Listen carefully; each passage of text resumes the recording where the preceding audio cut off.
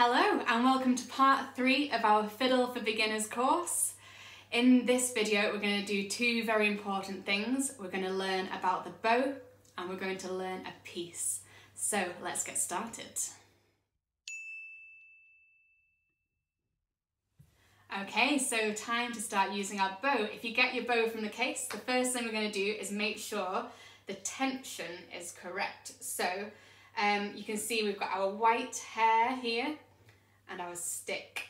And this screw at the end of the bow um, can change how tight the hair is. So if you turn it to the left, it loosens the bow, and then if you turn it to the right, it gets tighter. Um, we don't want it to be too tight because then you get added tension and it might bounce around and you might even damage the bow.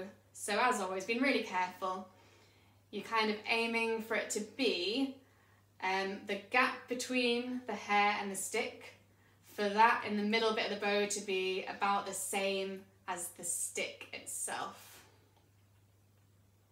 So the width of the stick you want in between the hair and the stick. Um, so that means our bow is ready to use. The other really important thing is we don't touch the hair of the bow with our fingers. Always just hold it on the wooden bit or at the end. Um, just because the same as when we first learned about our fiddle, if you get any bits of dirt or dust on the hair, it can affect the sound and make it a bit grubby. Then the next thing we need to do is hopefully in your case you'll have some of this rosin. It might come in a little box like this or a tub um, this is really sticky, so try and touch it with a bit of cloth. That should kind of be in the box with it. Um, and what this does um, is when you put it on the bow, it means that the hair of the bow will stick to the strings of your fiddle and make a sound. If you've got a brand new bow, it might have no rosin at all. So you can see all I'm doing here is getting the bow um, onto this shiny rosin and just rubbing each bit of the hair of the bow on the rosin. It might take a good five, ten minutes of doing this if you've got a brand new bow. And what happens is if it's brand new and it's got no rosin it'll sort of like sound very wispy. Once you've got enough on, you can get a nice strong sound. So once we started playing with our bow, if you find you get that sort of wispy sound, it might just be that you need to put some more rosin on. Normally, you'll just need to put a little bit on. You might not even need to use it every time you play, but if you do find you're getting that sort of wispy sound, put a bit of rosin on your bow and that'll help get a nice strong sound. Okay, so now our bow is ready to use. The next thing we need to do is learn how to hold it. And there's a very special way of holding our bow, like this. Now everyone's hands are different, so yours doesn't need to look exactly like mine, but as a rough guide, what we'll do is if you hold your bow in front of yourself with your left hand on the stick, and that just means it's taking the weight of the bow and we can move this hand, our right hand, which is going to use the bow to get it in the right position. So left hand on the stick and our right hand is ready to try. So um, we've got all these different parts of the bow here. We've already seen the screw, which makes our hair tight or loose. And this is the heel of the bow. This is the tip of the bow. Got the stick and the hair. So um, the other little bits here, we've got a, a finger pad um, and then our frog here. So our thumb, our right hand thumb is going to be bent and it's going to go underneath the stick on the frog here. So you can see that little bit there. Our thumb is going to go in there and make sure it's bent. And then our first finger goes on the stick, our second finger, our third finger, and our little finger balances on the end there. Um, so that's our bow hold. as with our fiddle, we want it to be nice and relaxed. You don't want to be too tense, so we're not gripping it or stuck in one place. It's all really nice and soft. And a good thing you can do to practice making sure you're nice and soft and ready to play It's just swing in your arms, stand somewhere where you're not going to kind of hit anything. Um, swing your arms and then we're going to bounce into place. And that's how relaxed we want to be when we're playing. So our left arm is nice and relaxed, and so is our right arm, which is going to be our lovely bow holds. So let's try that again. Bow in front of you, thumb bent underneath, then your first finger, second and third, and little finger on top. And these ones are just kind of curved around with the little one on top. So that's how we hold our bow. It's really good just to keep practicing that and once you get playing, keep checking how your bow hold's getting on. Have you got a bent thumb? Have you got a curved little finger? And it takes a bit of time to get used to because our hand's not used to doing this when we first start off. So just practice and keep checking in, making sure it's as beautiful as it can be.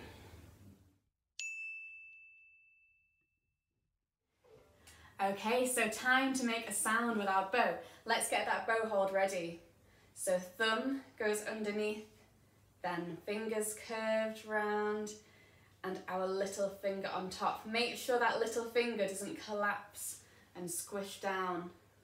Have it balanced on top.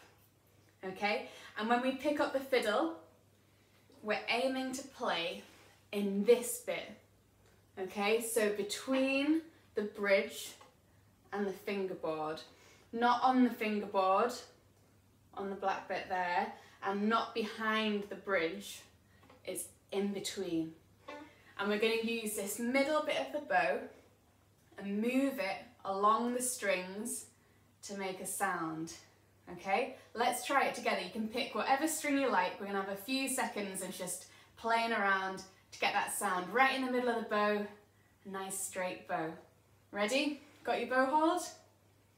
Okay, let's go for it. Any string you like.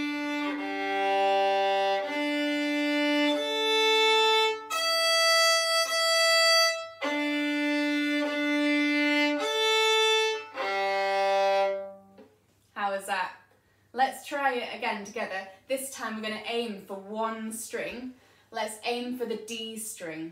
And we're going to play the D string four times. We're going to do four bows. One, two, three, four. All on the D string. Try not to catch any of the other strings. So back with our bow hold. In the middle of the bow.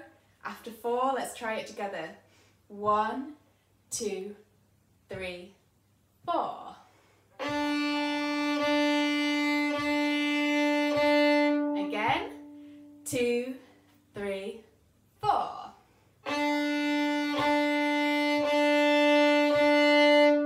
Cool. Let's try the A string now after four. One, two, three, four. One, two, three, four. Good.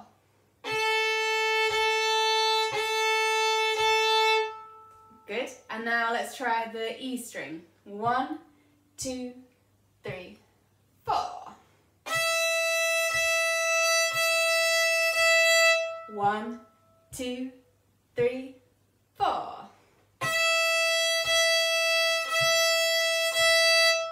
What string do we have left? Our G. After four, one, two, three, four. One, two, three, four.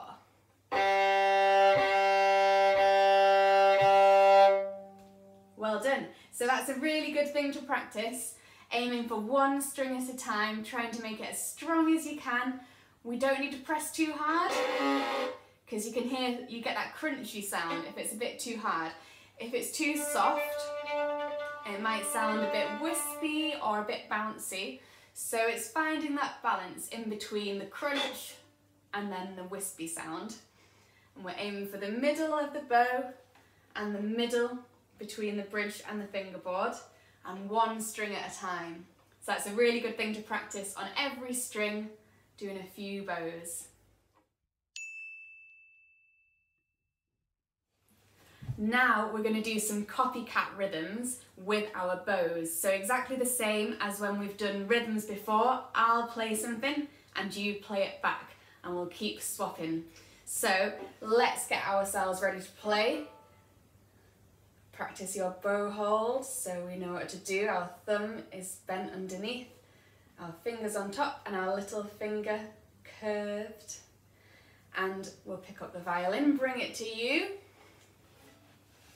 And you can either hold it here, where we started off, or if this new hold is still feeling nice and comfy, try it there and your bow. And we're always thinking about having that brilliant bow hold and the same with our left hand. Okay, so let's do some copycat rhythms. I'll start on the D string and then it's your turn. Here we go.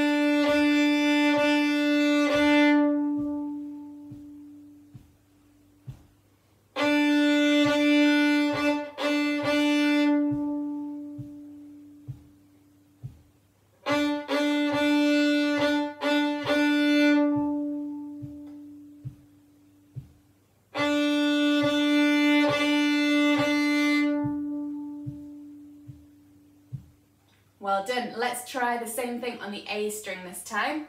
Have you still got your bow hold ready to go? Let's try it. One string at a time. It's the A this time. I'll go first.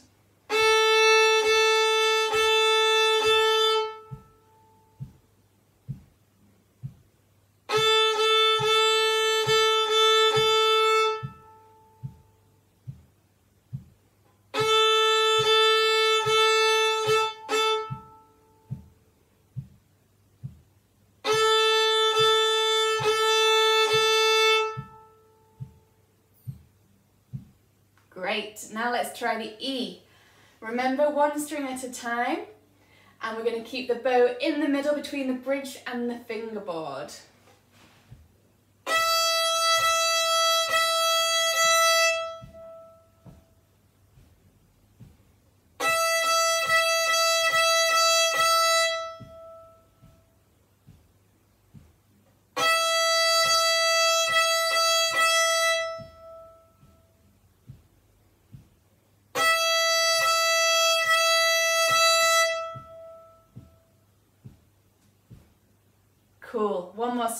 Try the G. Have you got your bow hold ready? Off we go.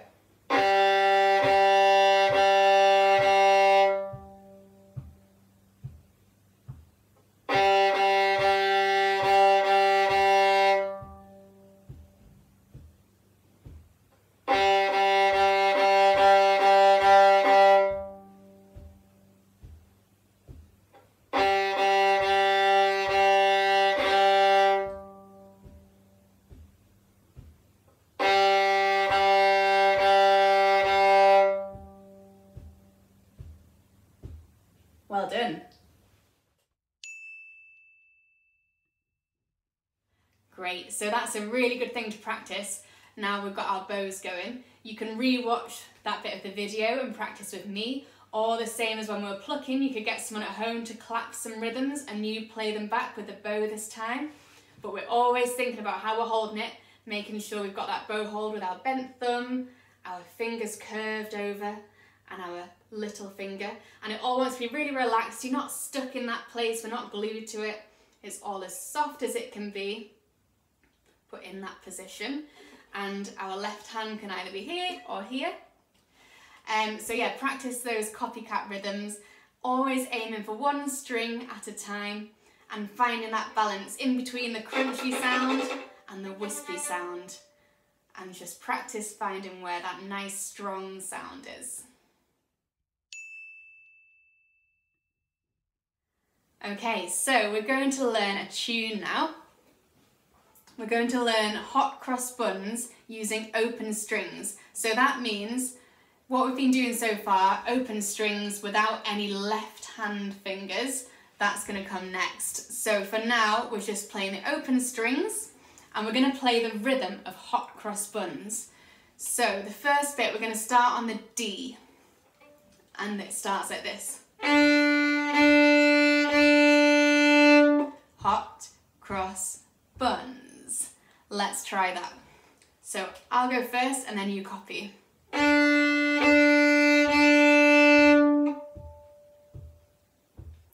Cool. We do that twice in a row. So we get this. I'll play first and then you go for it.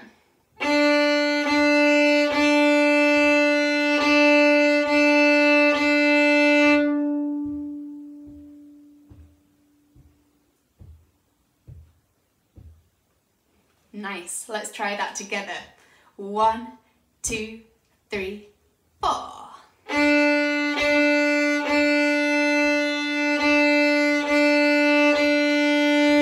Nice. Once more for luck. One, two, three, four.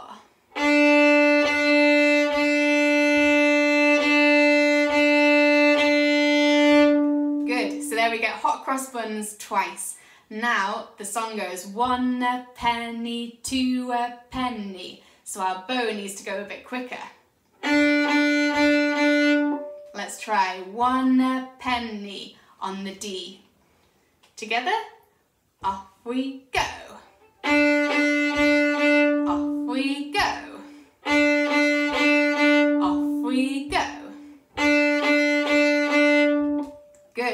For those shorter notes, we only need to use a smaller bit of bow.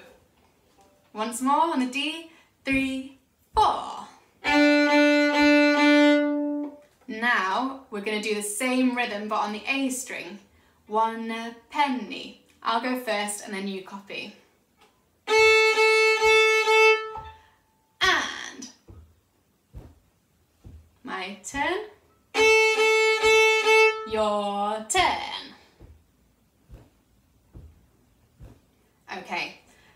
Them together. We get one a penny, one a penny. So it's D, then A. I'll go first.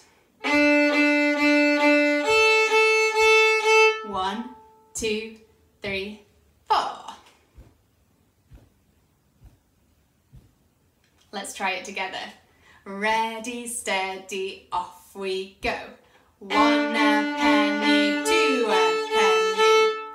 so up to there we have this.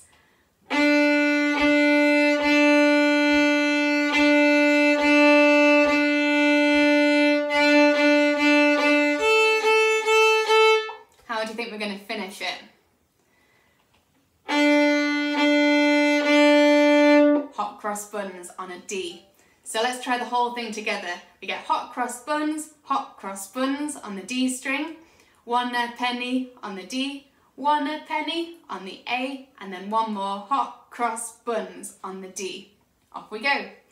Ready, steady, off we go. A.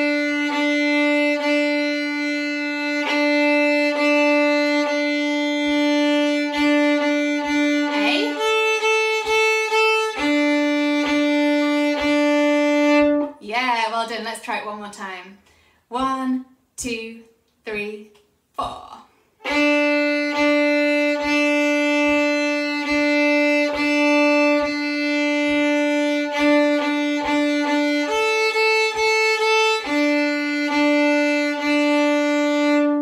Lovely, well done. So that's what I'd like you to practice this time. Hot cross buns on our D and our A string. Remember you can always practice the rhythm by saying the words. And um, we're going to use the middle of the bow. We need shorter bows for the quicker notes and longer bows for the longer notes. And then we're always thinking about that bow hold, making sure it's not too tight and we're not tense.